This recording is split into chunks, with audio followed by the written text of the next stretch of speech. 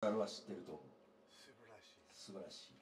トップボックスクリスマス。I'd rather be with you ああ、楽しもうよ。それをね、えー、ブー・コリンズの I'd rather be with you を、えー、ブー・コリンズがロジャー・トラウトマンを忍んだ Beautiful バージョン days ですよ。